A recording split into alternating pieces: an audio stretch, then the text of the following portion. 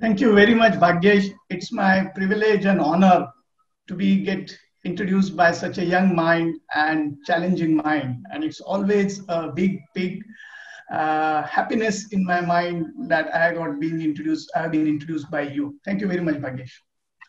And I hope I will make a justice to your expectation by the end of the my session today. Thank, you. Thank you, sir. Thank you. Uh, before I get into the details, I would like to provide my respect to revered Dr. R.P. Parnerkar, uh, my respect to Dr. V.R. Parnerkar, whom I treat as a philosopher, economist, institutional scientist, and of course my guru. So I request your blessings to start my session today.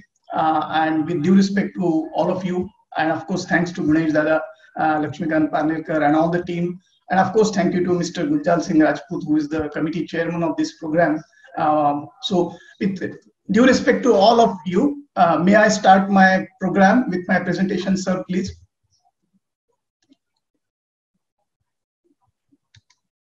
So I'll start sharing my screen.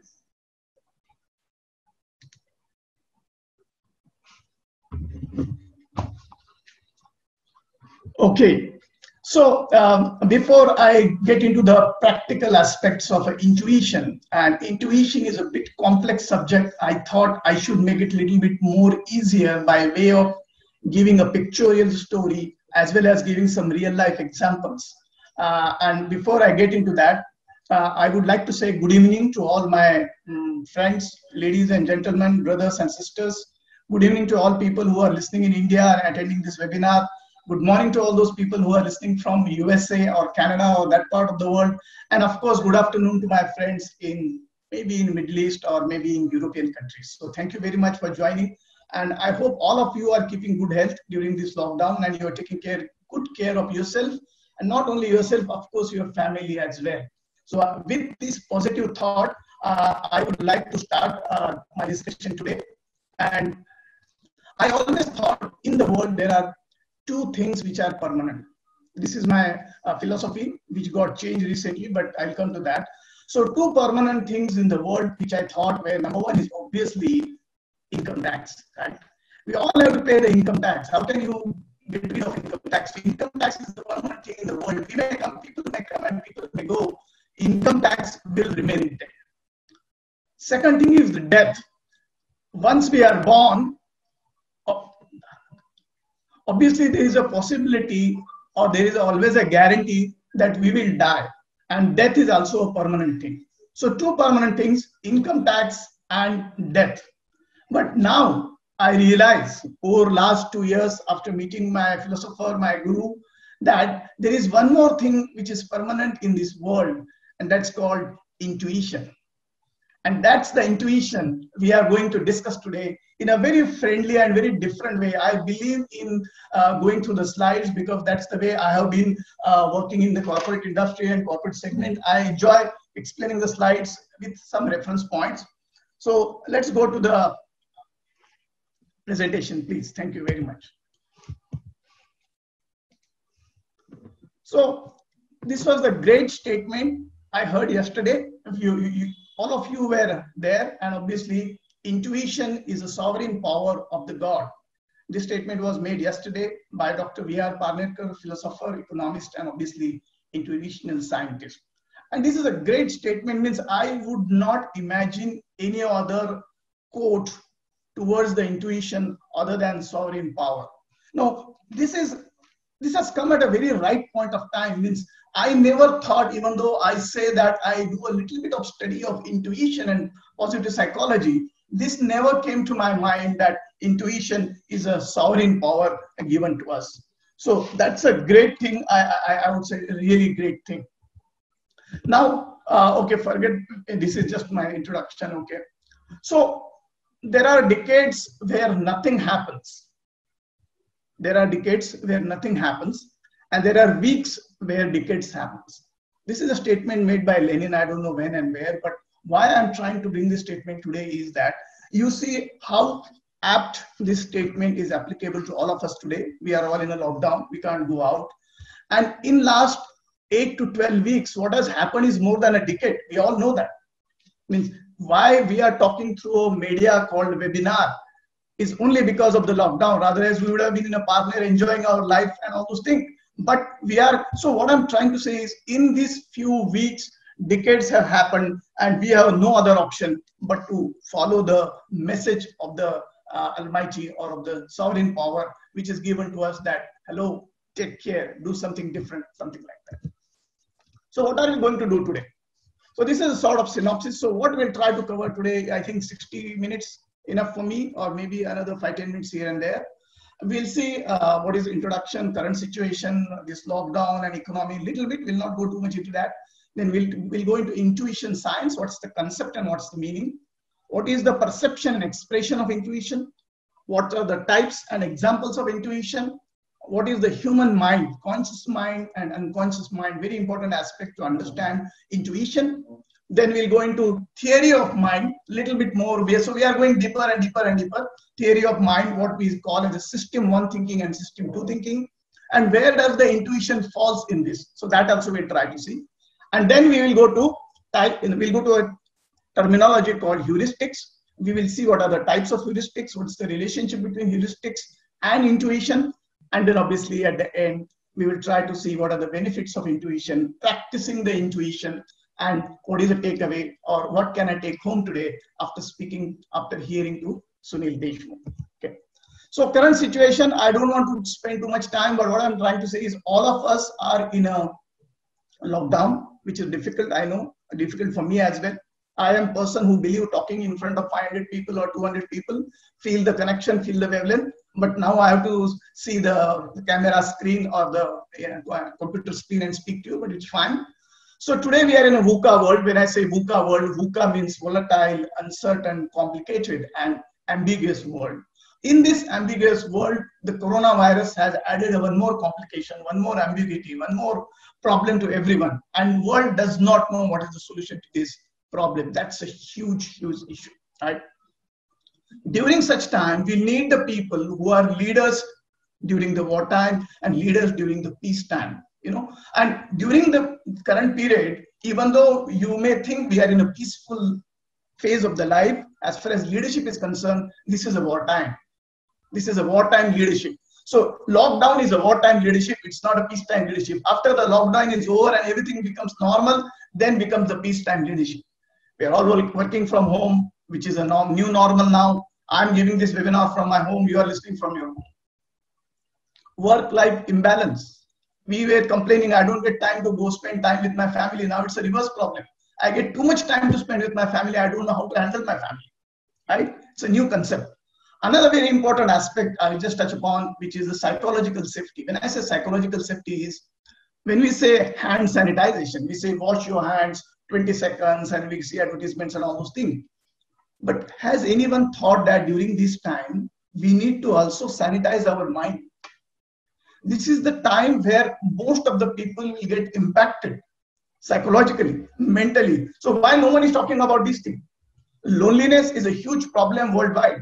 And being a human being, we are social animal. We need people around us. We need friends, families, relatives, move around.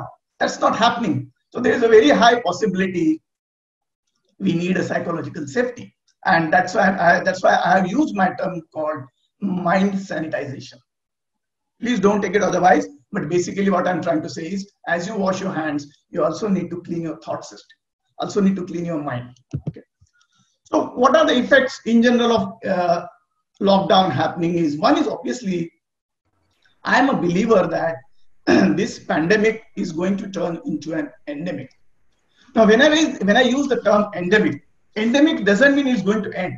Endemic means that this virus is likely likely to remain for much longer time, maybe another 50 years, 100 years, we don't know. And we need to find out ways and means how are we going to deal with during this pandemic as far as our life is. Other big problem infodemic. When I say infodemic, there is so much information coming to all of us through media, TV, WhatsApp, emails, YouTube, even you name it. Too much information is confusing all of us. And the biggest problem is what information we should take inside and what information we should not take inside. So what information, which is a fake and which is real. which is trusted in information, which is not trusted information. So very, very important area. And I would request all of you to be careful as far as checking in the information is concerned. Of course, there will be economic impact. Uh, I don't want to develop on too much on the economics, but definitely economy is going to go through cycles, slow down, and we all will be affected. So I always am suggesting my young students or my people who come and talk to me is find out what is your second profession. What is your second profession? What else you can do to earn the money other than your existing job, if at all the existing job is likely to lose or you get, get out of that. Second thing is don't forget what is your passion. Your passion will keep you activated all the time. Passion may not give you money all the time, but passion will give you purpose of life to live the life. So please find out what is your passion, work towards your passion. This is a time for you to work towards your passion and enjoy the passion. Maybe it's a forced time, but still, why not? Last in this slide, I would like to cover is meditation. Spend quality time with yourself. Talk to yourself. Speak to your inner voice, which is very, very important. And eventually, this will lead you and me to a topic of our interest called intuition, right? And that's where I will get into the intuition. Now, you know Albert Einstein. All of us know Albert Einstein. There's no need to say who is he. He made a statement, or I would say most of the philosophers and scientists have always opined that intuition is the ultimate thing. And what Albert Einstein says that intuitive mind is a sacred gift and the rational mind is a faithful servant. He is using, using the word sacred gift. So divine, sovereign, right? And we have created a society that honors the servant and has forgotten the gift, which is given to us by God, which is a intuition. So that is what even Albert Einstein has also uh, said about this. So let us get into the little bit more deeper into intuition. I am slowly, slowly taking you inside the chakravyuh of intuition uh, with some different information, different aspects of the practical life also I will tell you. And this is a statement I would like to make, which my all lawyer friends here will definitely like and they will understand. Those who have studied the law, they were taught in the first year of the law it's called, this is a Latin maxim. You know, legal principles came from Italian Latin. So this maxim or this um, um, quote says that ignorantia juris non excusat. What does it mean? It means ignorance of law is not excusable. Means you cannot say, I don't know the law. I committed a murder. I don't know what is the punishment. What is the law? I made a fraud. No, no, no. Law is for everyone and every citizen is supposed to know the law. That's called ignorantia juris non excusat. I stretch this analogy to our beloved topic of intuition, and I said that ignorantia intuitio non excusat. Ignorance of intu intuition cannot be excused. We all have that. We are all born with intuition. How can we say that I don't know my intuition? You have to use intuition. Only thing is, someone need to make you aware. And who is that someone? I don't know. It might be me. It might be you yourself. It might be your wife. It might be your friend. Or it might be the circumstances under which you are going through. So intuition cannot be excused. That is my statement. So let's go into what's the meaning of intuition. Okay. Very simple. Uh, in the term intuition came from Latin. Uh, in original Latin, it was called intuere. In the late Latin, it was called intuitio, and then in English, it became intuition. Right? That's the how word came into. So, what is intuition? We use this word without many times without knowing what is the meaning of this word, and that's why I'm going into the specifics of this word. So, intuition is an ability to understand something instinctively. See, this is very important. Instinctively without a need for conscious reasoning. Without a need for conscious reasoning. So intuition comes instinctively. It is not like that you are thinking for half an hour and then you are getting intuition, let it do like, no, no, no. It just happens. It's beyond your control. It is automatic. It is quick, it's speedy, it's fast. So that is intuition. And that is what we all have, and we got exposed to that many times. But we don't realize that it is my intuition. What is science? Because the topic given to me was intuition science. I am not a scientist, and I don't want to be a scientist. But let's define what is science. So, science is a study of nature and behavior of natural things and the knowledge that we obtain about them. So, that is science right? It means, you know, Newton saw the apple falling. So he was observing, he saw the natural thing, and he created a science of it. We all follow that. So natu- uh, science is basically the thing which we create a rules based on observations of the physical world or natural world. And then we prove in the form of a formula or a, a hypothesis. So intuition science is applying the scientific principles of observation, particularly observation to intuition. And that's what intuition science, I would say, would be. So let us get into a little bit more detail about the perception of intuition. What is the perception of intuition? Now, when I use the word perception, what is perception? It's very important that a perception is ability to see, ability to see, ability to hear, ability to become aware of something through various senses. See, we are all born with five senses, you know that, right? So we use these senses in order to get perception of what's happening around. That's perception. So what is a perception about intuition? The first perception of intuition is that it's a flash memory, it just comes to me instinctively or suddenly, something like like a electricity, right? Like a lightning, something flashes to my mind. Is that perception? Yes, it is a perception. Is that perception of intuition? I don't know. Only if you have studied intuition, then only you will know it's intuition or not. Otherwise, you'll say some wild thought came to my mind, I'll forget it. It's a different level of computing, different level of thinking.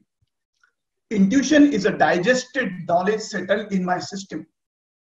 You know digestion, right? You know very well.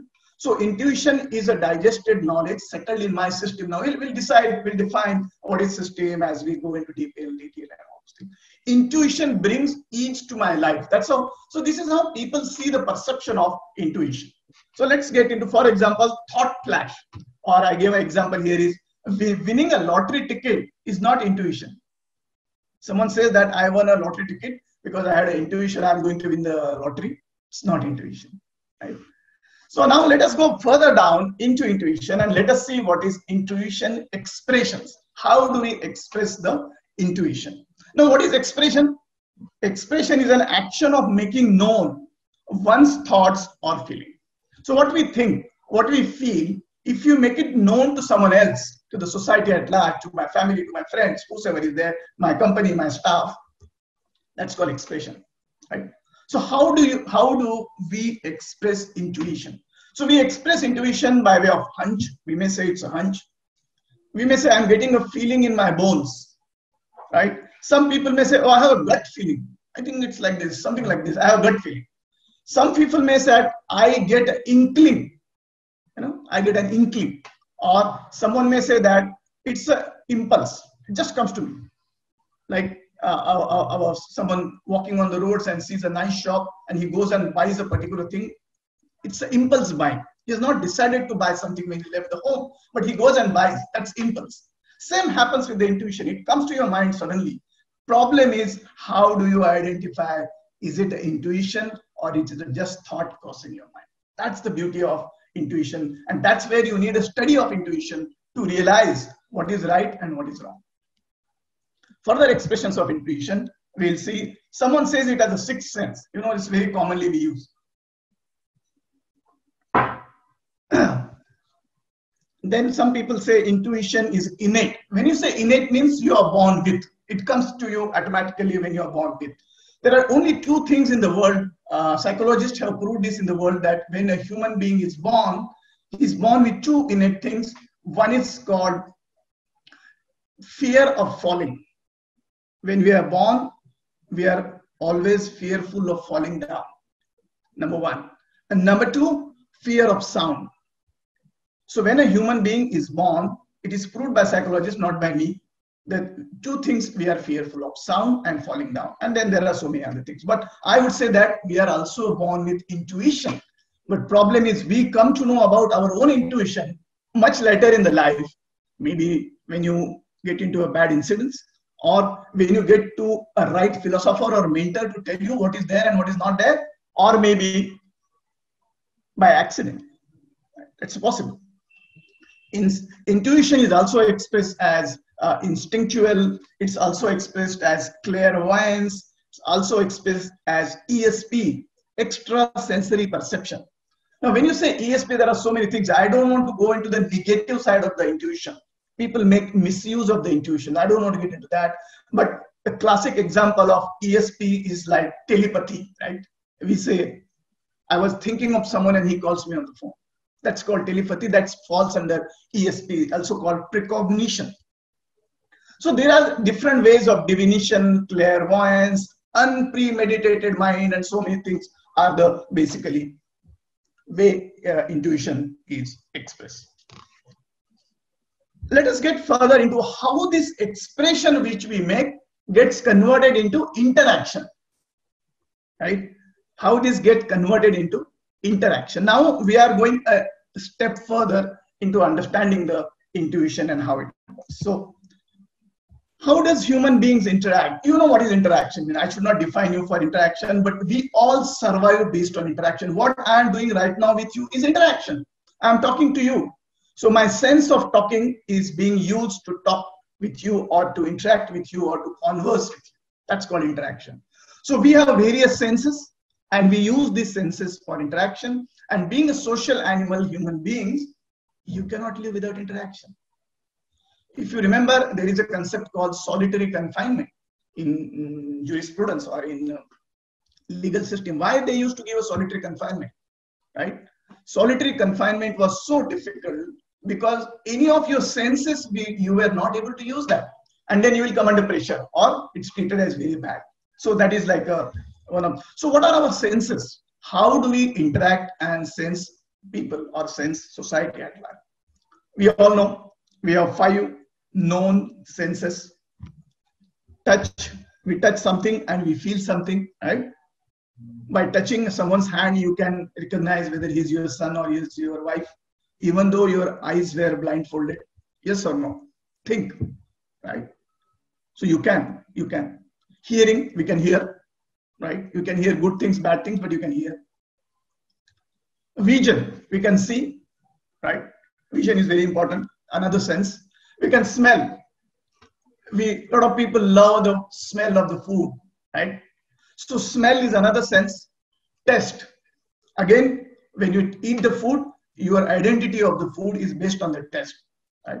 So these are the five senses known to all of us and most of us 99.9% people are born with these five senses. Always exceptions. I'm sorry for that but yeah. Generalization is but there is one sense which we are all missing and which is what we are going to study today or we are going to experience a little bit more detailed manner today. It's called intuition.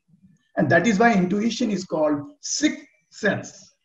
Five senses known to you, you are using day in, day out, left and right. But sixth sense, which is intuition, you are not using. Or you are using unknowingly. You are using it. You are using it unknowingly maybe for your good or maybe for your bad. You don't know that because you are using it unknowingly. And obviously, with whom you interact, a person interacts with the environment, right? Today, our biggest problem is we cannot interact with the environment. Environment is interacting with us. The coronavirus, so-called infectious disease, is showing us how it can interact with us, right? So when we say we interact with environment, means external world, mountains, rivers, whatever. Person, person to person, we interact brother, sister, father, mother, whatever. Objects. Our biggest problem today is we love to interact with objects more than the people. This thing called mobile phone, which is an object, right? We spend more time with this object than anyone else in today's world. That's also interaction, right?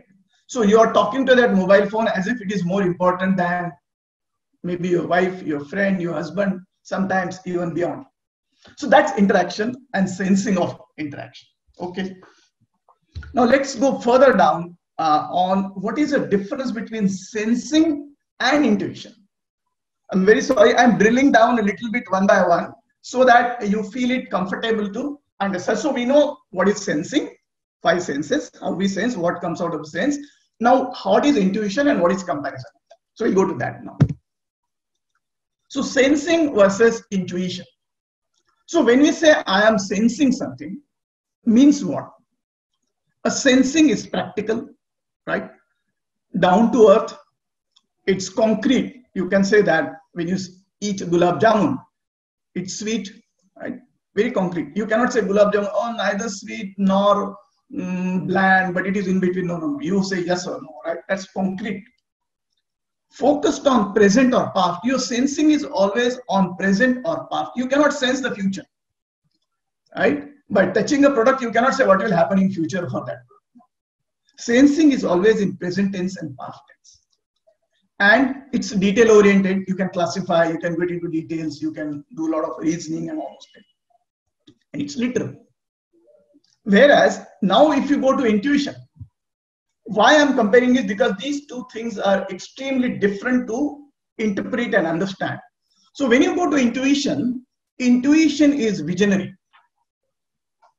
When you say visionary means it's future oriented, it's futuristic. Intuition is imaginative. Intuition is conceptual. Intu intuition is abstract. So this is very important thing. Intuition is abstract. You may not be able to specifically drill down every single point in an intuition. You have to understand it. You have to imagine it. You have to feel it. So you get a gut. You have to analyze that gut and understand it is helpful, not helpful, and all those. So intuition is abstract. Intuition is focused on meaning. You have to understand it. It will give you a hint. It will not give you the complete message and it is the reading between the lines. You have to understand and you have to interpret. Oh, I today I thought something like, what does that mean? So you have to do you have to do the analysis. So thought will pass through your mind, but how to interpret that thought is in your hand, not in someone else's. Right? So in this sensing and uh, intuition, I just want to a little bit uh, dwell upon more. So in our industry, in corporate world, when we recruit the people at the corporate level, leadership level, manager level, and above, we make use of sensing and intuition. And there is a very famous psychometric testing called uh, MBTI. I may have some friends on this call who understand human resource and MBTI. So MBTI is basically Myers-Briggs type indicator. So Myers and Briggs are the name of two ladies, a mother and daughter psychologist, American psychologist, I think, yes, American psychologist. So they created this tool to test the human personalities for the purpose of selecting into the corporate world. And in there, so they created 16 personality types. And in these 16 personality types, they classified how people take the decisions. And those decisions were further broken down into decisions based on sensing, and decisions based on intuition. And if the decision, a person takes a decision based on intuition, he is very likely to get into a leadership position or a decision making position or a higher ups. So if you have got time, please go on Google search, go put MBTI, Myers-Briggs uh, type of indicators. There is a free testing available. You can do it yourself. You will know what type of personality you are out of those 16 personality. And they classify the personality S means sensing, S stands for sensing, and N stands for intuition. I have used this extensively in my past life when I was in a corporate world as a CEO or a managing director, and it's very effective tool for making use of. So now we know a little bit about intuition. We know a little bit of theory. We know a little bit of sensing. We know a little bit of expression, right? Let's see some of the examples of intuition. So you can relate it what I am talking, does it make sense to you or not? Right? Examples is always a realistic and practical way of explaining any topic for anyone. Right? So what are the examples? So intuition examples, I would just say that, for example, let's take the first example. It is a real example. This is not a hypothetical example. And I presume the guy, uh, the person I'm going to tell the story is attending this program uh, today, uh, this webinar. So what happened is two years back, I went to Denmark for a holiday. And while going to Denmark, I asked a friend of mine in Singapore that I'm going to Copenhagen. Do you know anyone in Copenhagen? Just for the sake of knowing someone, you know, you always want someone to be known and like that. So my friend in Singapore gave me the name and number of this person who lives in, who used to live in Copenhagen at that point of time. So I go to Copenhagen. I land in Copenhagen. Second day morning, I call this person and I say, hello, I'm so and so, and I came from Singapore, and how are you? And your friend gave me your number, and can we meet? Now, this guy at that point of time was stunned. I'll tell you why. Because he got his PhD award on the same day. Our guy, he's our person, his name is Prasad.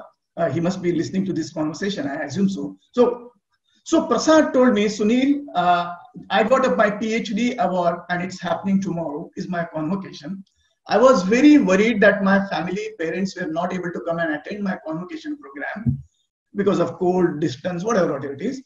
And you have come to me, and I had an intuition that someone is coming, someone will come for me. Now imagine this, it was not anywhere in my mind, means I would never think, and he happened to be from Nanded again. Look at the connection, right? So this is intuition. So he had an intuition that someone will be there not his brother, father, sister, mother, but someone. So for me, he started treating me like his uh, elder person, you know, or is asking me, I want to touch my feet and all those things. But imagine the intuitive feeling. So this is a classic, and this is a real example, and this is not cooked up example. There are many such examples in your life. When we talk to someone, we say, I read your mind. Right? We very nicely say that I read your mind. Means what? you know what the other person is thinking in advance before he speaks. So there is a wavelength matching of your mind and his mind. That's intuition. It's not easy. It comes with a lot of experience. Not every time it happens, right? Okay, by experience, when you live with your wife, you know what she's going to cook, right? That's not intuition. Don't treat that as intuition. That's experience. Okay. Then another classic example of intuition is while buying a house or a property or a car, you do not use the analytical information available with you. You go by your gut. You tell me how many of you have purchased the house or purchased the car and did a technical analysis and this analysis. But when you go there, you have decided to buy a white color car. But when you go there, you like the red color car and you come buy a red color car and come. No analytical decision worked here, nothing. When you buy a house, you exactly do the same thing. This is an inbuilt intuition. Certain aspects in our life, we just rely on intuition. I'm not saying you will be always right on that. Please, please note this. But chances are there you might be right most of the time on such We use intuition unknowingly in such matters. Think of someone and doorbell rings or think of someone and his phone comes. Intuition, right? It happens very common. This is the most common form of intuition. It happens many times. We go to eat something in a restaurant or hotel, or we live and we don't eat there. For some reason, we say no. Something is wrong here. A mother feeling child is unwell or child is hungry. It's the classic example of intuition. Why a mother, a son or a daughter is staying, say, 3,000 miles away or whatever it is, sitting in India sitting in wherever, she knows that there is something wrong with my son today. Let me talk to him. How does this happen? No one, no scientist has been able to lay down the process how this happens, but it happens. And this thing is almost 99% time right. A mother never makes a mistake in identifying whether the son is unwell or daughter is unwell or hungry or not. Always on dot.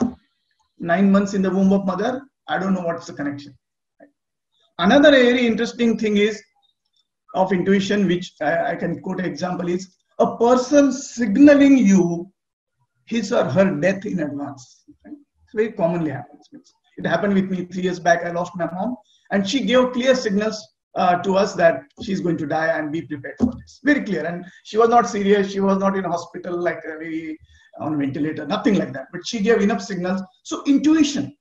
But this type of intuition is at a different level. you will not see this happens very common. Okay, so these are intuition examples in our personal life. Let's go to intuition examples in the corporate life or social life. I hope I am not going too fast. I hope my sound clarity is very good. I hope you are able to grasp what I'm telling, and uh, it's. I hope it's interesting to you. I'll try to make it more interesting to you in next slide or these examples. So in social life, we lot of time get exposed to intuition or we have to use intuition. As a CEO or as a leadership uh, material in past in my life, I have used intuition in the decision making many times. I can tell you two very nice stories here. Uh, one is with my personal life and one is known to everyone in the world. You know the Hudson River plane landing case, right? In the year 2009, I think uh, US Airlines uh, aircraft uh, met with an accident. I think it was a bird hit and uh, yeah, it was on 15th of January 2009. And this aircraft needed to land immediately, otherwise the engine was not working, obviously. So the pilot of the aircraft intuitively decided to land the aircraft on a river or in a river. It has never happened in the past in the life of, I'm sorry, airlines industry that intentionally aircraft is landed on the water. Never happened. So this guy, he's a hero, obviously, no doubt about that. He landed this aircraft on the water in the Hudson River. The temperature of water at that point of time was below sub-zero. It was sub-zero. It was a pure winter. Landed the aircraft. He knew the water temperature is so low that people may die even getting into the water, but he landed the aircraft 155 lives were saved. Every single person in that aircraft survived because of that decision, which was taken intuitively by the pilot. What do you think about this? Now, this type of intuition is not so easy. You need a lot of experience. You need a lot of expertise this guy was a pilot for more than two and a half decades, three decades. So three decades experience sitting in his brain, digested knowledge. He made a calculation that I know I'm, we are all going to die. I can't land on a plane surface because my engine is not there. One engine is not working. Let's take a chance on the water. Obviously, he would have made some calculation in life. So maybe instead of 155 people dying on the road accident, on a landing on the road, maybe another 50% people will survive on the water. That would have been his some calculation, some intuition. And this decision is instinctive. He had less than two minutes to take a decision. I'm saying two minutes, maybe it's even lower than that.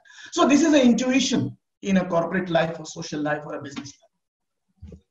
Very classic. This is this example is being taught in all the schools of psychology, all the schools of decision making, you name anywhere. And this guy has obviously become a hero and he's known worldwide. And in US, they felicitated him and gave him prize and all.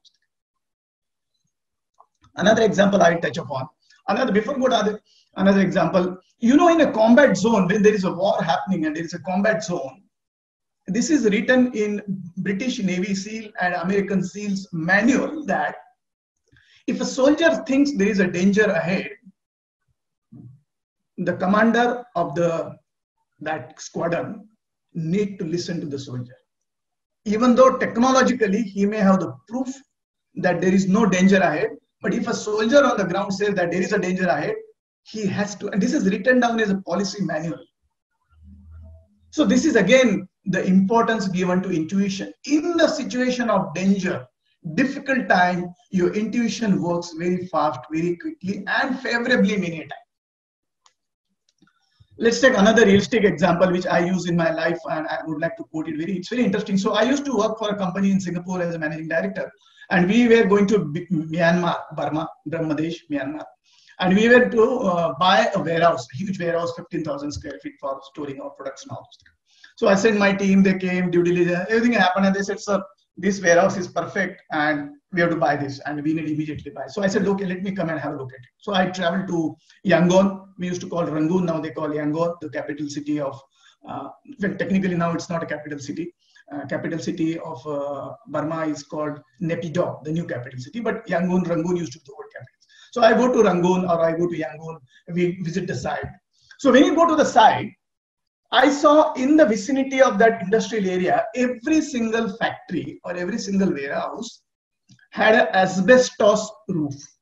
You understand asbestos roof, right? We all had asbestos tins and asbestos roofs in our lifetime. But you know now uh, worldwide it is proved that asbestos is dangerous to the human health and you are not allowed to use it. So so when we went and see the factory and that warehouse and they were insisting me, sir, everything is okay. Let's go and give a clearance. We need to close this. So I asked the owner of the warehouse who was selling me the product that does your warehouse has got asbestos sheets on the roof or is it something or is it a concrete or because he has painted and made it false ceiling so nicely you are not able to see from the bottom. This guy saying is no no sir everything is clean no issues and this is this and this is not asbestos this is tin and this is mixture and new material all those things were happening. So he was insisting. Then i realized that my intuitive mind was telling me there is something wrong here I could see on the vicinity every single warehouse was having an asbestos sheet. How come this guy is saying he is not having asbestos sheet? So I told my project manager, I said, how do we find? He said, no, sir, there is no steps to go ahead. We can't go and find it out. And he was saying, no, sir, I can guarantee you I am a local person. We must buy this property. So I said, okay, I, I am inclined to do one more uh, practical solution. If that works, I will buy this warehouse for my company. So imagine what I did. So I told my project manager, he can't go up. He doesn't prove any papers to show what's happening. So I told project manager, go outside, pick up a big stone, throw that stone on the warehouse roof. Right? Throw that stone on the roof of the warehouse with as much speed and as much height you can get. So he said, sir, this is nonsense. What are you telling me to do something like this? This is not correct, sir. No, uh, he was convincing me. I said, no, no, you just do that. So he goes and does that and obviously I hear the sound. Right? Based on the sound created by a stone falling on asbestos sheet, obviously I concluded that it is asbestos sheet because the sound coming from any other surface vis-a-vis the sound coming generating from asbestos is always different. And I told my project manager that we are not going to buy this property because there are asbestos sheet. No, I'm not trying to say that I did a smart thing. What I'm trying to tell you is my intuitive mind I would have thrown, thrown the stone in my life 40 years ago when I was living in Nanded and playing with someone and sound whenever generated. You know, we play like that, we used to play like that. But that knowledge remained in my unconscious mind for 40 years and I applied that today or at that point of time. So that is intuition. So this is a simple classic examination. All these big people like your Steve Jobs, Bill Gates, all every single person when they go to the new market, they use intuition. They use intuition. Bill Gates, uh, Bill Gates and Steve Jobs has openly agreed in the public forum that they have used intuition to launch the new product. Also, when we are in a difficult situation, floods, earthquake, you know, all this type of problem, we use intuition and it works normally very well. In case of danger, we are very prone to go towards our intuition. So let us go to the next area. Uh, now we know a little bit more about intuition. What are the types of intuition? How do we classify intuition into types of intuition? So there are three types of intuition. Directional intuition, social intuition, and informational intuition. This is a general classification. We have already seen the examples beforehand. So a directional intuition gives you a direct or creates a, uh, what you can say, way forward for you or a roadmap for you. So like I said, when you hire a person, right, you may hire the best person or you what happens is normally when you select a person for a job you may not select the best person for that job. What happens is we always have this feeling this guy is too smart. Everything he answers everything well. His communication is good. His personality is good. Everything is good but something is missing. So you don't select that person. So that is a direction given to you by your mind. Same thing you enter in the new market you use the direction. So this is a directional intuition particularly when you launch a product when you go into new territory, new market, you use this direction intuition. So getting a direction, whether we should do that or not, that's what is direction. Social intuition, again, uh, this is very commonly used by all of us unknowingly many times when we are sitting in a meeting or when we are doing a presentation or when we are sitting in a group of people.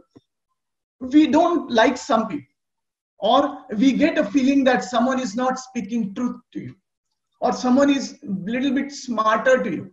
And these things you identify unknowingly, and that's called social intuition. And social, social intuition is very uh, uh, commonly used by salespeople understanding the customer or in the meetings and conferences. You know that this guy is going to ask me a different question. His intention is not good and all those stuff. So that is called uh, social intuition. Informational intuition is basically based on a lot of data and analysis over a period of time you generate your ability to create a decision making pattern which is intuition so particularly data scientists the stock market people accountants like when I used to be a finance guy, I used to have my numbers on top of my mind and there was no need for me to remember and read through every time the balance sheet and profit and loss account. I know by experience what's going to happen. Know? So that is more of a uh, informational intuition. And this is typically nowadays used by data scientists, artificial intelligence, and deep learning. All these people are using the uh, informational intuition, very commonly used by the CEOs, the leadership people in their life. So we have seen more or less, uh, I would say, a lot of information about the intuition. Now, let's get into some another technicalities or technical example of intuition, which is more pictorial. I will not get into too much technicality. So, artificial network. We, we are all talking to each other today through a network, a webinar, Zoom platform, cloud computing, Wi-Fi, internet, 5G, 10G, everything is you know right? So this is artificial network, which is created by human being for the convenience. And that's why we are able to talk to each other on this webinar. Then you have a natural network, right?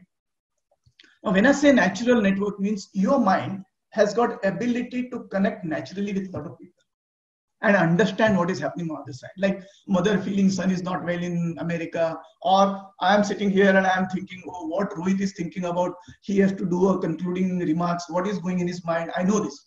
Just giving example. Don't don't say like that. But I'm not that advanced. But what happens is by experience you come to know a lot of things. So this is a natural network. Means this showing this picture you immediately capture the figures. You know signal. You know giraffe you know there is a satellite. You know there is a chessboard. There is a uh, camera. So what i'm saying is these things even though i tell you or not tell you just by seeing you are grasping them. That's intuition. Because in your digested memory there is a connection to all these things. I did not tell you though there is a by the way there is a tower there or there is a wi-fi sign there or there is a people having lunch together. No it happens automatically. So this is our natural network. Now what happens or what is happening today or in current scenario is we have come out with a concept called neural network right? So neural networks are basically the networks used by the people in artificial intelligence. Yesterday also there was a reference made to artificial intelligence uh, by um, uh, Dr. V.R. Parnerkar. And what I'm trying to say here is basically artificial intelligence based programs are inspired based on human intelligence and human network. So, you know, we in our brain, you have neurons, and neurons pass through electrical current and they pass the communication from one neuron to another neuron. And there are, we will come to that, there are next slides. So, what I'm saying, the internal communication mechanism of our brain and our mind it's so advanced that the people in artificial intelligence are using the same analogy, same process to create the neural networks. And this is what this picture is the same thing. This is how artificial intelligence people use these platforms. Fortunately, both my sons are in artificial intelligence and data sciences. So of course they think i don't understand any of these things even they one boy asked me what right do you have to make a presentation on this topic i said thank you very much so, uh, but what I'm trying to say is artificial intelligence uses the natural network of human being and they are copying, it's inspired and they may be, uh, they may go to the next level of this. We don't know. So these neural networks are consolidating using the good things in our natural network, neurons, how neurons work with each other and all those things. Another very interesting thing in human network is, uh, again, I'm using the legal terminology. I'm very sorry for that there's a terminology in the Contract Act called consensus ad idem. Consensus ad idem is a term. What does it mean is you agree with each other in a similar sense, right? Meeting of the minds. That's the consensus ad idem. So in our mind, our brain, there is always a consensus ad idem when we work towards the intuition with someone else. You connect with you said, oh, my wavelength with you works perfectly, right? That's a terminology we use very often. So that's intuition or that's consensus. So that is also another area of this. Let's get into some other more, some more details of intuition. What are the facts, myths about intuition? Just have a glass of water. So, what are the facts about intuition? So, intuition is a human ability to predict possibilities. And very important is to predict possibilities instantaneously. Not like wait for 10 days and then predict what is going to happen. No. At that point of time, at that moment, instinctively, what do you think? What is likely to happen in future? And when I say without reason, means without thinking. Means you don't have time to think and do a calculation and you have to take a decision and we'll come to that later on, how the decision is being taken, what are the uh, rationality of a decision. We'll come to that. Intuition can be achieved by self-realization because you only can know your intuition. Right? Someone else will not know your intuition. First, you have to speak to yourself. So self-realization, dedication. It's not easy to understand and uh, speak to your mind all the time. There are very few instances when you can speak to your mind and understand intuition. And of course, the very important is meditation meditation is a step towards going towards intuition i'm not guaranteeing this but a lot of people believe that if you are able to silence your mind you can speak to your inner mind and that will help you to get into meditation and obviously intuition being intuitive is the proof that your soul is more connected with a higher power this is again assumptions and beliefs intuition is another way that your senses are heightened right means your threshold of thinking goes up a level up right? That's also uh, facts of intuition. Myths about intuition. What are what is wrong thinking about intuition? Is it's a magical ability? No, no. Intuition is not magic. Please try to understand this. And this is very clearly uh, known and told by Dr. V.R. Parnerkar many times to many people, including me. Intuition is not a magic. It's not a chamatkar. Right? It doesn't come just by only mantras and shlokas. Second very important thing is it is a mysterious process and should be left to the religious people. No. Intuition is for everyone. It's not mysterious. Of course, you have to understand your own mind and speak to your own mind. But it's not only religious people. Every single person has its innate ability. You're born with intuition. You should know how to use the intuition. So only religious people can uh, practice the intuition and all those things. It's not true. Okay. But of course, religious people who have studied at a very high level, who have practiced, obviously they will have next level of intuition which you and me may not have. But that doesn't mean uh, study practice is very, very important. Now let us get into the very interesting topic called mind, right? So what I'm trying to do is we are started from the top of intuition. We are going down the funnel and now we are going into mind. Then we'll go into brain and all those things because these are all related things uh, uh, Mr. Rohit, I hope I'm okay on the time. I will need another maybe 25 minutes. Is okay? Half an hour? I, yes, I guess. Okay. I, I think, okay, I'll try to cover up in that. No problem. Yeah.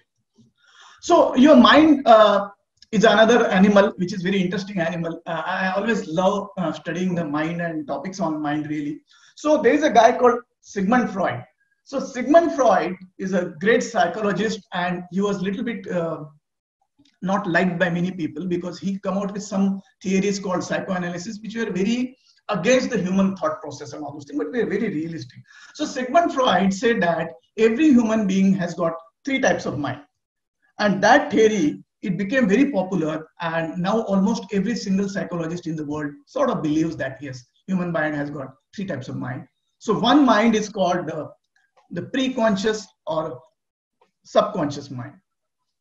So this is a stage which is called, this mind consists of anything that could potentially be brought into the conscious mind. So this is like you're floating on the water, you are neither getting into deep waters, nor you are totally on the top of the water, but you are just at the level of water. So you're floating, you means you can immediately come out. So that is called pre-conscious mind or subconscious mind. The conscious mind, again, is the most important thing. Is the conscious mind contains all thoughts, memories, feelings, wishes, what we have at any given point of time. Now I'm talking to you, I'm conscious, and thoughts in my mind are conscious of talking only about the intuition topic and nothing else. So that is conscious mind. Conscious mind thinks about rationality, what is right and what is wrong, what are moral values. That's reasoning, right? That's a human nature. We define everything. The rationality of our mind. It includes memory. Obviously, conscious mind includes memory, but conscious mind also includes memory, which is sitting in your pre-conscious mind and which you can retrieve quickly.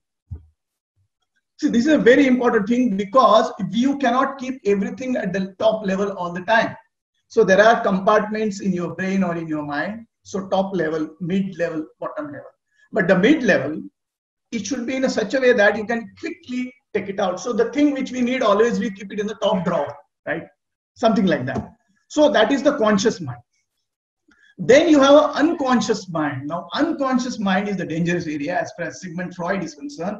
He says that un unconscious mind is a reservoir of feelings, thoughts, urges, memories outside our conscious mind, which may include pain areas, right? Which may include anxiety, which may include conflict, aggression, the bad thing happened to you in your life when you are young or when you're growing up as a child. Sigmund Freud says that uh, human mind gets affected maximum between the age group of 1 to 6 so they said what are things going into your unconscious mind? They all happen say, up to age of 6 and if anything is happening good or bad it all goes there. That's sigmund freud. So uh, this is a and our intuition our area of interest intuition sits inside the unconscious mind. Why are we seeing all these things? Because of that. Intuition sits into the unconscious mind, obviously. And that's why it takes time to come out. It doesn't come out so easily every time. Now, uh, there is a, okay, next level to the intuition, uh, to the mind theory of mind by Sigmund Freud. The next concept is called a mental iceberg. So what I say that your mind is like an iceberg. You know what is an iceberg? Iceberg is a, uh, uh what you can say is in the water, you can see a ice on the top. That is called tip of iceberg but the tip is a small portion of iceberg. Below or underwater, there is a huge and big portion of the ice, right? That's the bottom of the iceberg. So what Freud says that your mind is like an iceberg. So what is on your top level of iceberg is your conscious level, is are your thoughts and perceptions. Then you go below that water level, which is I was saying a floating level, just below, like maybe one feet below the water or whatever, half meter below the water, which is your subconscious mind, where your memories or stored knowledge can come out very easily. And the last part, as you go more deeper and deeper and deeper, you will have a lot of things. So your mind works on this philosophy. So this is a very nice metaphor used by psychologists to describe the theory of mind. Conscious mind, preconscious mind or subconscious mind and unconscious mind. Intuition sits in unconscious mind. Let's move further and see what is next. So there is a concept called Freudian slip. I don't know how many of you know this, but we say slip of tongue, right? Very commonly we say, oh, there was a slip of tongue. A classic example given here is, I will read that example is, a man who accidentally uses former girlfriend's name while referring to a current girlfriend. Very dangerous, right? Very dangerous. Not good. But this happens. Why? Because your unconscious mind, unconscious mind clash with each other. And that's why uh, Freud has used the word uh, unconscious mind is largely inaccessible. The contents can sometimes bubble up unexpectedly, such as dreams or slip of tongue. So it can be, we go through slip of tongue every day at least once. Right? Every single person, human, you cannot say that I will never have slip of tongue. It just happens, right? And the internal part of that exerts influence on your thinking process and that is called slip of tongue and which is very common way. So why i'm trying to say that slip of tongue is also i would say some part of intuition. Some part of intuition. In a very stretched manner. What i'm trying to say that your unconscious mind is hitting your conscious mind and it's uh, conflicting. And when you are in conflict you utter the wrong words and that's called freudian slip two sons' name. It happens with me. I mean, I should not tell this in a public gathering like this, but I have two boys. Their names are so similar. Many times by confusing, I call one boy with the other name. Freudian slip. I can't help it. Even though I would say that I have studied psychology and I understand, but it happens with everyone. So that's a Freudian slip. Again, a very interesting concept. Let's go to the theory of mind now. So again, we are a little bit going into the deeper and deeper of the mind, and we'll go to the brain also. So what is a mind now? So mind is a categorization machine. Please remember, we are calling it as a machine, right? Mind is a categorization machine. It's busy all the time, even though when you are sleeping, your mind is working. 24 by 7, 365 days, as long as you live, your mind is working. No lockdown effect. No um, 60 days lockdown, lockdown one, two, three, four, nothing happens. It's always there. Busy all the time, always thinking. Mind takes voluminous complex data, just incoming, ah, anedo, coming, coming, coming, coming. Without your knowledge, it comes in. Then what it does, this complex data, it tries to simplify and structure to settle down into your mind. First take inside, then segregate, then classify, then keep it inside. And why we do all these things to make sense of the world. To make sense, see, why we do. The classic example I have given here is the mind's most important capability is at a glance to tell you whether a stick is a stick or is a snake. It's a very crude example, but I thought this is the right example to give. So you, so that's the that's the role of your mind at any point of time to, dis, to differentiate, to identify and create a differentiation. Otherwise, you will get into a danger or you will get into a problem. So that's the mind. So then your explicit knowledge and tacit knowledge. I will not go into that, but that's basically what you can acquire as a knowledge and what you can skills as a knowledge. Brain, again, the conceptually brain is your left brain and right brain. You know all this very well left brain is a logical brain sequential rational analytical so which is what uh, is also called slow brain right brain is random which is your intuitive or intuitional brain so that's the left and right brain theory and uh, there is a concept called uh, thought system 1 and 2 so thought system 1 and 2 is a creation of a, a great uh, economist and psychologist uh, human judgment scientist i would say Nobel Prize winner guy named Daniel Kahneman. So he came out with a system called that human mind or intuition has got two thought systems which arise spontaneously without a conscious reasoning. We call one system as a system one, which is a fast and intuitive, and second system is called slower and relies on reasoning. So system one is fast. We use 90% of time. We just see something and take the decision, right? We don't think. When you are driving the car, you just sit in the car and start driving the car. You don't think, oh, where I have to go, how I have to go. No, it just happens. Right? That's a fast and intuitive system. Slow system, when you want to buy a property, you do analysis, but then you take intuitive decision. Or you want to invest in the shares, you do data analysis. That's system two. But again, when you take a call, you may not use it. So system one and system two is a very famous uh, area in the world, and a lot of management decision makers use it. There's a famous book called Thinking Fast and Thinking Slow. Uh, you can please refer to this book. Uh, it's available everywhere uh, it very nicely defines how human beings think.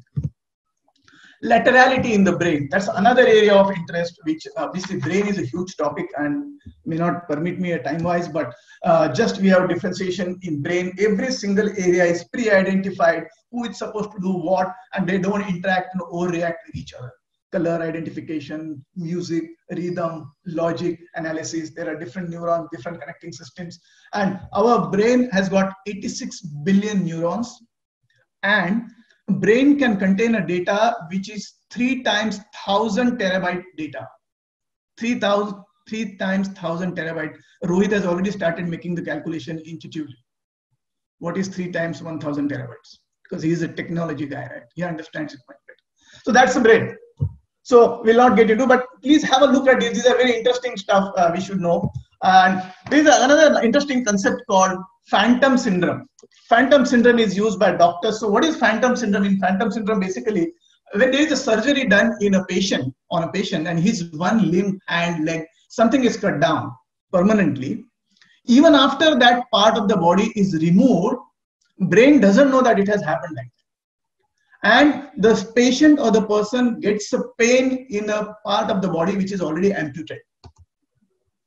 It all happens because of theory or practice like intuition. And all doctors agree there's a huge study and research on that. So what they do, they go and show that patient the mirror. See, you don't have. So when brain thinks, you have full body, full body. and starts giving signals to you like that. But in real life, you don't have full body, your leg is cut. So they go in and show in the mirror to the patient, and then slowly, slowly, uh, it, it goes out. So this is a very famous uh, theory of uh, phantom syndrome in psychology in medical sciences. Let's see heuristics. Heuristics is a basically a, a sort of intuition, but not intuition. It's a shortcut to the uh, decision making, or we call it rule of thumbs. Uh, we normally, for example, we are going from one road to another road. Suddenly, you find a shortcut, right? Or there is a water in the road, so you take a diversion and you get a shortcut. Then every time you keep getting that shortcut, but every time there may not be water on the road. First, you took a decision, but that became a rule in your mind, and you followed that rule unknowingly. So heuristics can go wrong. That's the basic problem of heuristics uh, as compared to intuition. For example, we, we remember things by shortcuts, right? VIBGYOR. VIBGYOR means color, violet, and all those things. We, we have tendency of remembering things. So that is the heuristics. Uh, then there are four types of heuristics, availability heuristics, anchoring heuristics, and then you have satisficing heuristics and representative heuristics. Let's take one example of satisficing heuristics. Basically, when we go for a shopping or our um, uh, ladies go for shopping on Linking Road on Bandra, they want to buy some purse they will not satisfy unless they go to four, five, six shops and identify what is the price in each shop. And ultimately, they may buy from the first shop, but they will satisfy themselves that I did a fantastic job. That's called satisficing heuristic. It happens availability. What comes? So when you see a TV advertisement, immediately you recall that. Or when you go to a Google search, or you do a Google search on intuition, the first article which comes on the Google search, you think that is the best article. That's called anchoring heuristics. So I have written an article on heuristics uh, in our magazine, which was released today. So maybe you go in detail, study that article on heuristic. It's very interesting article you will like. Bounded rationality. When we all take a decision, there are three limiting factors for every single human being, for every single decision-making process. It's called um, bounded rationality. It's by again a Nobel Prize winner, again an economist called Herbert A. Simon, and he came out with a, a theory called bounded rationality. And he said that at any point of time, when you take a decision, you are restricted by three things. You can even think now in your mind available information, time constraint on your hand. So now on my hand is a time constraint. I have to finish in time. Time constraint in your hand. Cognitive limitations, thinking process, how much you can think. There's a limit to that. Also, that's called bounded rationality. Another very interesting, I spoke to some very high level surgeons, doctors in US and India, how they see intuition in their practical life. And there's a concept called ETOCSMI, E-T-O-C-S-M-I, it's an acronym. Uh, e stands for emotion, thoughts, orientation, consciousness, sensorium, memory, intelligence. So they also say that when a patient is very serious, even if he is on a deathbed, they know that intuitively or there are certain things which go beyond doctor's uh, uh, medication or doctor's treatment, and he may come out of that problem. So these are the things. This is how, if you read it carefully and go through this, this takes you more towards intuition. Eight habits of the highly intuitive people. Listen to your inner voice. Practice mindfulness. You know what is mindfulness, but self-awareness and meditation. Have a creative outlet. This is very, very important. You must have a creative outlet where you enjoy music, dance, art form, giving a lecture or cooking food in the kitchen. So you should have a, a creative outlet. All intuitive people uh, have the creative outlet. Pay attention to dreams and subtle messages. Observe immediate environment and what's happening outside you and connect. Empathy. Read mind of people. Right? Enjoy solitude. This is very important quiet corner, me time, sit to yourself, talk to yourself. We don't do this. We are very transactional in our life. We want to achieve every time something, something, something. Result, result, result. No, sit in a corner, think.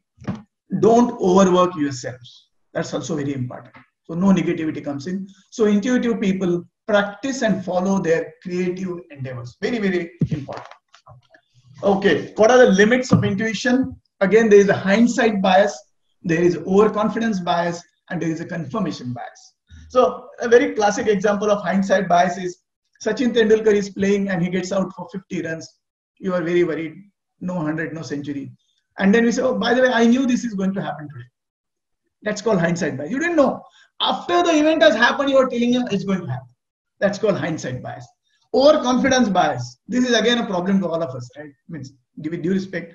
You go in a foreign country and start driving a car without having the road maps, and you are confident I will find out my roads. And you don't. Overconfidence. Confirmation bias. Very classic example. We have something in our mind which is confirmation. Like, for example, left handed people are more creative than right handed people.